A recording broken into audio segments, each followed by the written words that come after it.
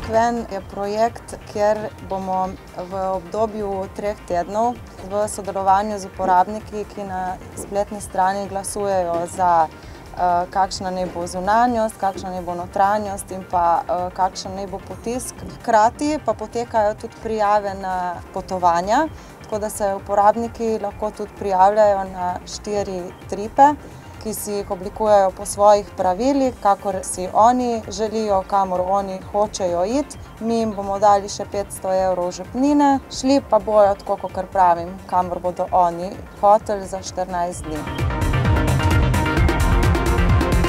To je zelo preprost razlog, zato ker v Sloveniji T-ena skorajda ni za najti. Če pa že so, so že jih neki ljubitelji starodobnih vozil tako preuredili, da bi ga mi v resnici uničili, ker smo ga želeli po svoje narediti oziroma tako, kakor so uporabniki se odločili, da bi ga želeli imeti. Strošek je seveda avto, ke ga moraš kupiti.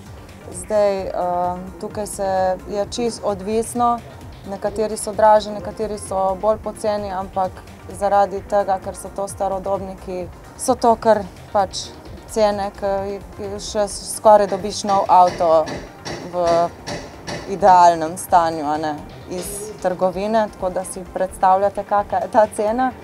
Kar je pa obnove, je pa čisto stvar, kar smo si pač, kaj si zaželiš. Lahko imaš bolj poceni gume, lahko imaš malo bolj dražje gume, lahko je enobarvni avto, kar je spet bolj poceni, kakor je pa mi, ke imamo tri barve, tako da mi smo ga čisto totalno preuredili. V sklopu celotnega projekta sem jaz tukaj v bistvu bolj kot, kot neki vajenec, kot pomagam več, saj izkušenj imam malo, ampak kar se da, probam sam narediti, kar ne vem, takoj vprašam, tako da bil sem tule že pri, takoj ko je avto prišel, ko smo ga razstavljali, ko smo ga peljali na peskanje, na barvanje in pol spet nazaj pri sestavi. Za zdaj, za motor pa menjalnik pa bremze pa je pa bolj, so bolj oni. Tule ni, ni prostora za zdaj neke napake, da se jaz tam učim na tem, to sem se, tudi jaz se raje izognem, no. Motor je generalno obnovljen, je bil razdrt, vse je šlo narazen, se je to spucalo, tesnila nova, ležaji, tako da deli, vsi ti, ki se obrabljajo, so novi, tako da to bo res. Drugače pa original, menjalnik so tudi pregledali, je bil v zelo dobrem stanju, tako da tam niso nekaj spreminjali nič.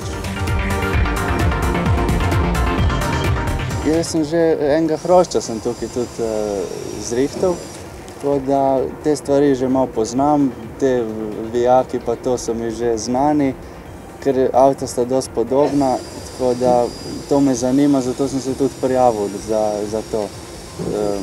To je kot neki moj hobi, eto. V začetku oktobra se bo vrnil nazaj v Slovenijo, oziroma če bo zadnji trip po Sloveniji, bo že tisto obdobje vozil po Sloveniji. Kaj bomo z njim naredili na koncu pa, to bomo pa še malo premislili, imamo še nekaj časa, tako da ni še določeno zares.